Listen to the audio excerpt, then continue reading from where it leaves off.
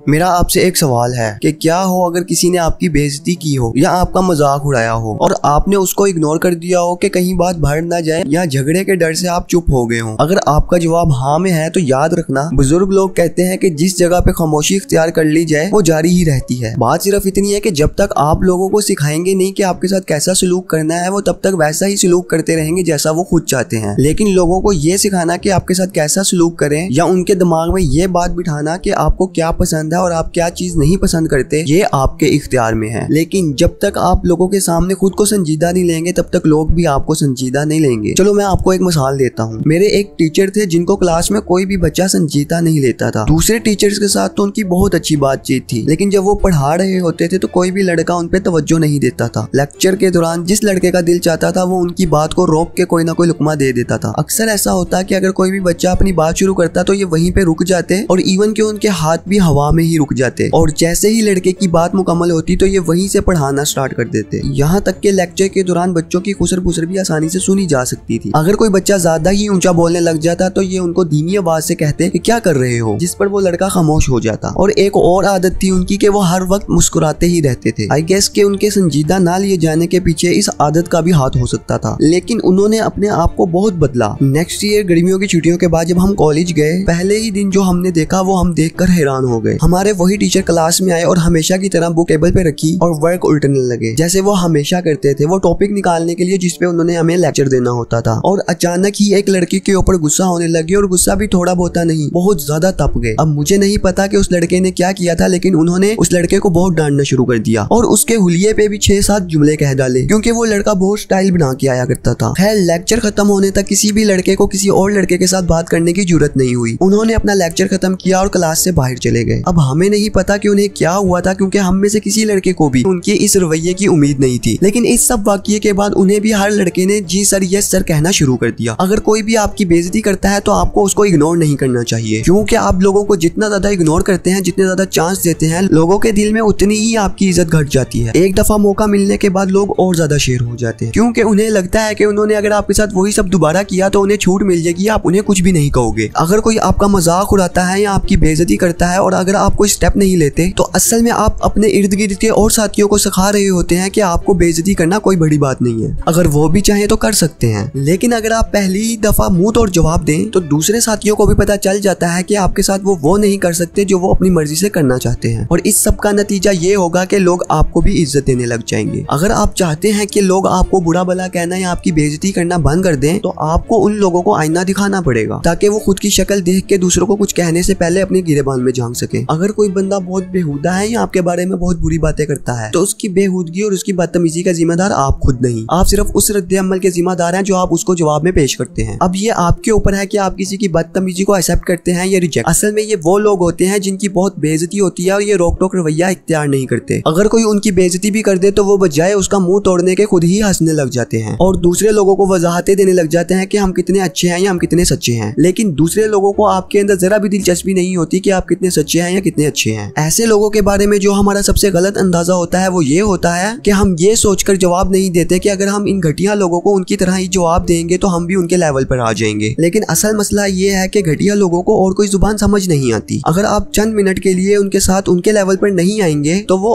और घटिया लेवल पर चले जाएँगे और यह सिलसिला कभी भी नहीं रुकेगा। और इसकी एक और कैटेगरी भी है कि अक्सर लोगों के साथ उलझने का कोई फ़ायदा नहीं होता, बल्कि उल्टा नुकसान ही होता है। या फिर किसी तीसरे बंदे के सामने तमाशा बन जाने का खदशा भी होता है। लिहाजा ऐसे लोगों से लड़ाई झगड़े से जितना भी बेहतर है। उम्मीद करता हूँ कि वीडियो से आपको कोई ना कोई फ़ायदा मिला होगा। अगर वीडियो पसंद आई है तो वीडियो को लाइक करके चैनल को सब्सक्राइब कर लें। और हो सके तो इस वीडियो को अपने दोस्तों के साथ भी लाजमी शेयर करना।